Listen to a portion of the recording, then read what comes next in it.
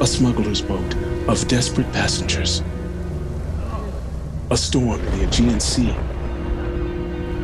Nine year old Amir face down in the sand. A sole survivor in a strange paradise. Masked men yell in a language Amir doesn't understand. A local teenaged girl appears. Vanna is kind. She is helpful. She smiles. No language or culture shared between them. But trouble is tracking Amir. Refugees are rounded up. Amir and Vanna hold hands.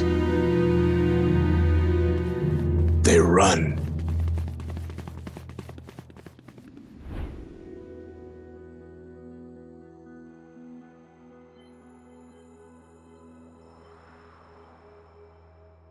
Música